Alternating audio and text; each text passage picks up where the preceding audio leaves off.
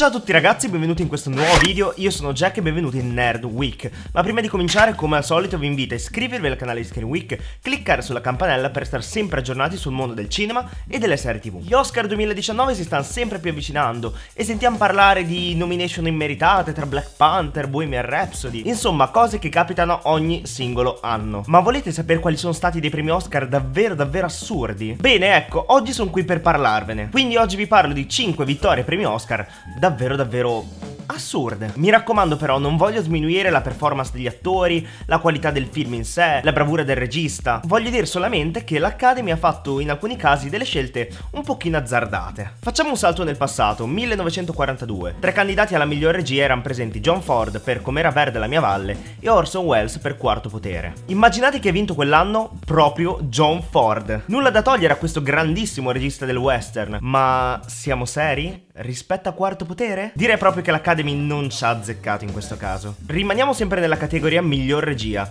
ma nell'anno 1972. L'Oscar va a William Frednick per Il braccio violento della legge. Fin qui tutto bene, no? Direte voi.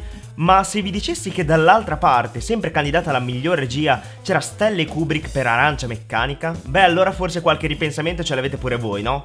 Direi che anche in questo caso l'Academy è un pochino sbagliato. Parliamo invece adesso della categoria miglior film e siamo nell'anno 1981. Il vincitore di quell'anno è Gente Comune di Robert Redford, un film ottimo, assolutamente, ma forse non tanto meritevole contro due film come Elephant Man di David Lynch e Toro Scatenato di Martin Scorsese. Direi che anche questa sia una vittoria abbastanza assurda, non trovate? Passiamo all'anno 1999, un anno dove sono successe le peggio cose, delle cose davvero assurde, delle premiazioni abbastanza impensabili su diversi aspetti e su diverse categorie, ma adesso andiamo con calma. Come miglior film vince Shakespeare in Love, che già di per sé non è una gran notizia, ma se poi dobbiamo paragonarlo a Salvate il soldato Ryan e alla sottile linea rossa, beh, c'è stata proprio un'ingiustizia. E continuando con il 99 e con le ingiustizie, parliamo della categoria miglior attrice. Infatti parliamo della vittoria di Gwyneth Paltrow sempre per Shakespeare in Love, che già di per sé è abbastanza assurdo,